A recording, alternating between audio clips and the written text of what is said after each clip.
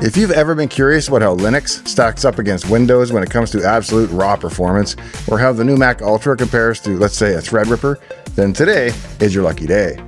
Because we're going to drag race Windows against Linux using a complete set of performance benchmarks, including running both systems head to head on the bare metal. Then I'll test them each running with WSL2 installed and compare the native performance to the Hyper-V results to see how much, if any, actually gets left on the table that way. We'll even throw the top of the line 20 core Mac Studio Ultra into the mix to see how it compares to the Intel based systems. What is the fastest operating system? And is it faster by 1% or 5% or 20%? I think quite a few people are going to be surprised with the results. So let's get right down to the business and start testing now so we can crown a winner today, right here in Dave's Garage.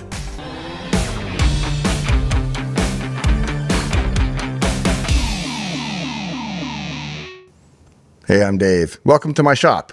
I'm Dave Plummer, a retired operating systems engineer going back to the MS DOS and Windows 95 days. And about a year ago, I had what turned out in the long run to be a fairly cool idea. I'd write a prime sieve in C++, Python, and C Sharp, and then see how the relative performance compared between the languages. That was the start of the desktop drag racing project, and thanks to the hard work of folks like Rutger and Tudor and all the other volunteers, the project has grown into a complete set of performance metrics based on the Prime Sieve in over 80 languages, from Ada to Zig and everything in between. I'll put a link to the Primes project in the video description, as well as links to the most popular drag racing episodes. Benchmarking two computers with a Prime Sieve is a very specific task, however. It really comes down to how well written the compiler is and the libraries that come with it.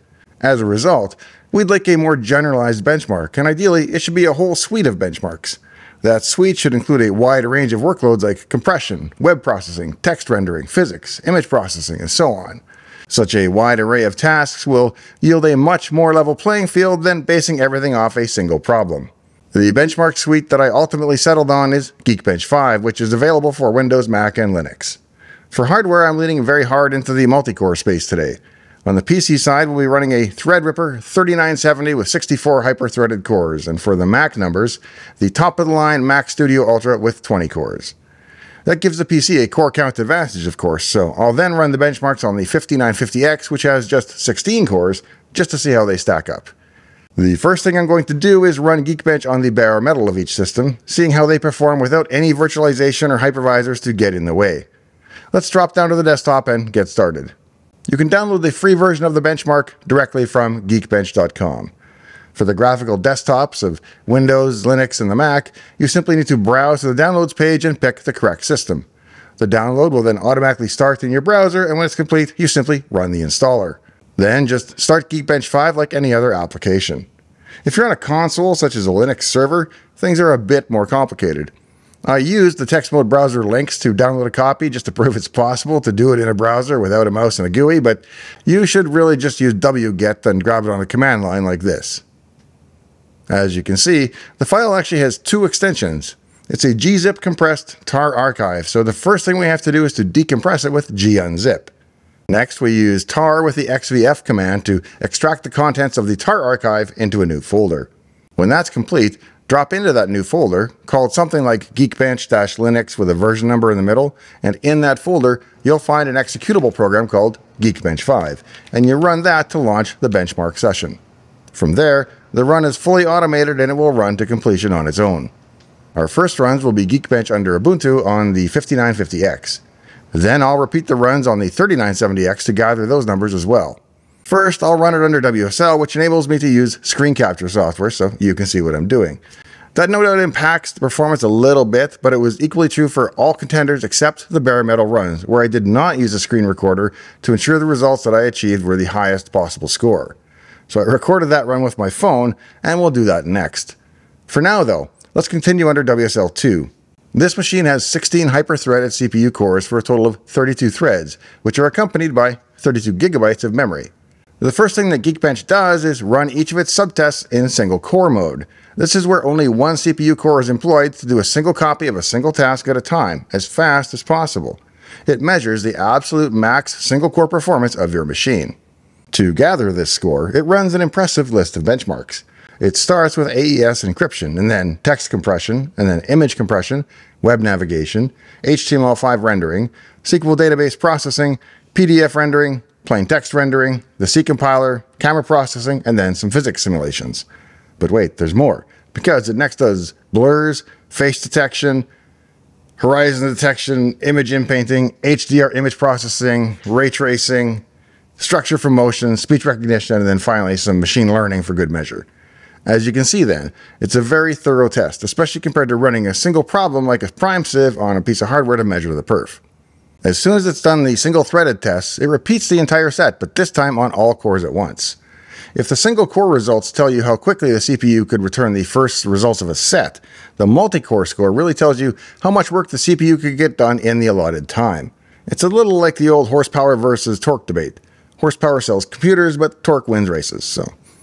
As soon as these multi-core tests are complete, Geekbench then does not give you the results directly. Instead, it uploads them to the Geekbench results database, and you are given a URL with which you can view them in a browser.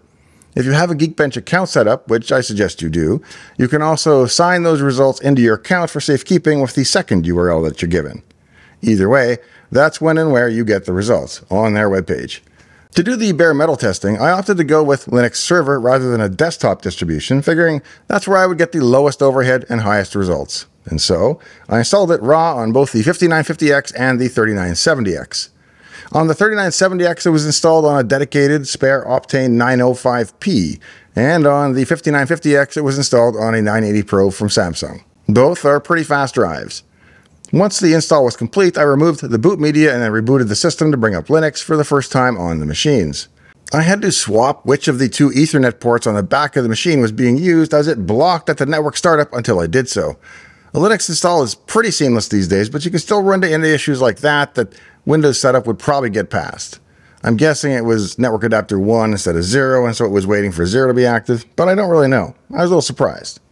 But as soon as the machine came up, I supplied my new username and got a password in, and before running sudo apt update and then sudo apt upgrade to bring the machine all the way up to date. Next, I used wget to retrieve the file from Geekbench, gunzip to decompress it, and then tar to extract the contents to a new folder. After I CD'd into that folder, I then ran the Geekbench 5 application directly. Just like the WSL case, we can let it run on its own and it walks through all of the test cases. We can see the machine is properly identified as having 32 cores, 64 threads, and 126 gigabytes of memory. I'm not really sure where the other 2 gigabytes go. They must be reserved for Linux itself, which is a bit weird because you'd figure that 640k should be enough for anybody. Once it runs through both the single and multi-core scenarios, I use the Lynx browser to launch the URL, whereupon I can actually scroll up and down and review the scores for each individual test if I want to. For now, I'll just write down the overall single-core and multi-core results. Next, we can do this under Windows, where the procedure is much the same. Under Windows, we are presented with a simple GUI that we can use to control and launch the benchmarks, and just as we did with the console version, we let it run to completion and then visit the URL that it kicks out at the end in order to get the full results. Next, I want to repeat the Linux test from within a Docker container. There's a GitHub project with a Docker container already set up and ready to run Geekbench, and I'll put a link to that in the video description as well for your convenience. Assuming you have Docker installed, you can launch the Geekbench suite easily with the Docker run command and the image name. Running the benchmark under Docker looks pretty much identical to running it from the Linux command line, with the exception that under memory information, we can see that the Docker container is only granted access to 32 gigabytes of memory, while the machine itself has 128. After I completed this suite of tests on the one CPU, I then ran the same suite on each of the others so that I had results for the Ryzen 5950X, the Threadripper 3970X, the MacBook Pro Max, the Mac Studio Ultra, and the old smelly Dell that runs Ubuntu off in the corner of my office where it weekly generates prime number racing results all day long. I figured it would be interesting to compare the old Core 2 Duo to the latest CPUs. And with that, we can finally turn to some charts and graphs. Rather than hold out on you to the end, I'll start with the big picture Windows versus Linux, raw and the bare metal. This graph compares the performance of Windows and Linux running on the same hardware, not at the same time, of course. Each was booted from its own dedicated drive, and there was no virtualization or hypervisor involved. As you can see, Linux comes in at 1370 and Windows is right behind it at 1348, which is a little over 98% of the performance of Linux. I'm actually quite surprised that the result is that close when the software benchmark is as complete as Geekbench seems to be. I actually wasn't sure who was going to win, but I was reasonably confident that the gap would be much wider than 1 or 2%. I think that bodes well for us as users, though, as it indicates that both are approaching the performance limits of what is actually possible. It's likely worth noting that while Linux eked out a win here, it was on a server edition running a pure console with no desktop, no mouse pointer, and so on. Windows, on the other hand, was logged into a user desktop session. That means Geekbench was running in a window, which was on a desktop, which is part of a window station, and so on. I don't think that should have had a material effect on the benchmark results. I'm just noting it for completeness. Next, let's take a look at the difference between running on the bare metal versus running under the WSL2 hypervisor, and then we'll compare both of those scenarios with running in a Docker container. This graph illustrates the results. Linux bare metal at 1370, Windows at 1348, and WSL2 at 1311. Now, the fact that WSL2 turns in 96% of the performance of a bare metal Linux installation is a pretty compelling reason to run it that way, I think. But if you're really in a scenario where 4% makes all the difference, now you know. Docker, on the other hand, does impose a significant hit of about 15% in my own testing. The processor information displayed during the Geekbench run showed that Docker was getting access to all of the CPU cores but only 32 gigabytes of the memory, while the native numbers were run with 128 gigabytes. I tried specifying more, but the Docker container seemed to max out at 32. With Docker, of course, the environment is fully virtualized, so some overhead is to be expected. Running software as a container, though, can be hugely convenient, so even though it sounds like 15% is a lot, it might just be worth it in many cases. When it came time for the multi-threaded testing, Linux again scored a win with Windows trailing at 95% of the speed. Linux running under WSL comes in right behind that at 92%. One thing I don't know enough about myself to really speak to it well is how the CPU is scheduled by the hypervisor. Is the Linux WSL multi-threaded case hobbled in some way by the Windows scheduler, or is it of no consequence to the Linux side? And if it isn't, what arbitration scheme is actually used to allocate CPU time slices amongst the hypervisor clients? If you know the answer, let me know in the comments. With Linux in a Docker container, we see about the same performance impact in the multi-threaded case as we did in the single-threaded container. It produces 86% of the performance of the Linux bare metal case. That said, however, it's important to note that this was Docker for Windows running an Ubuntu container, which probably uses WSL, and so that 86% number should really be viewed in light of the WSL numbers and not the raw hardware numbers. In other words, it was running at about 92% of the performance of the environment in which it was operating. Let's round out the picture now by including the Mac in the mix. Geekbench runs natively on the ARM Macs now, so it's a perfect opportunity to compare Mac versus Windows versus Linux reasonably fairly. The first chart illustrates the single core results. It includes three different Macs ranging from the entry level Mac Mini to the top of the line Mac Studio Ultra. As expected, though, the M1 performance for single core workloads is fairly consistent across the CPUs with a best of 1777. The next higher score was turned in on the 5950X by Linux under WSL at 1780, and then by Linux on the bare metal at 1781. Notice how close those numbers are. It means for some reason that Windows WSL was able to turn in 99.94% of the performance of the bare metal. I'm not entirely sure why, but I tried it a couple times. This wasn't the case on the Threadripper, just the 5950X. And when you're running on the 5950X, it seemed to really not matter whether you were under WSL or not. This final chart is, I think, the most interesting and revealing of them all.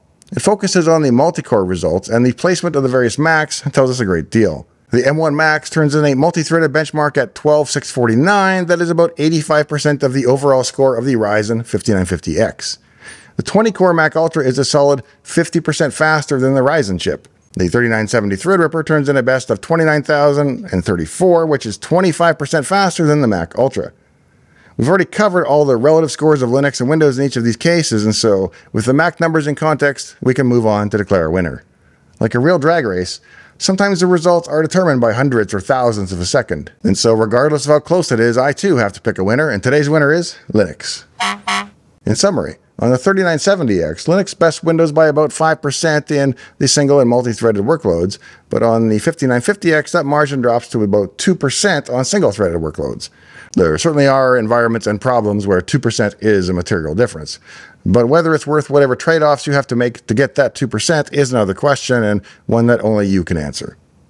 I'd love to hear your thoughts about these results. I'll be watching the comments for clever insights, so don't leave me hanging. If along the way you found today's episode to be any combination of entertaining or informative, I'd be honored if you'd consider leaving me a like and subscribing to the channel. If you have any interest in matters related to autism, Asperger's, or ASD, please check out my book on Amazon, Secrets of the Autistic Millionaire. It's got nothing to do with money and everything to do with living a successful life on the spectrum. It's everything I know now that I wish I'd known back then. Remember, I'm mostly in this for the subs and likes, so please do be sure to leave me one of each before you go today. And in the meantime and in between time, I hope to see you next time right here in Dave's Garage.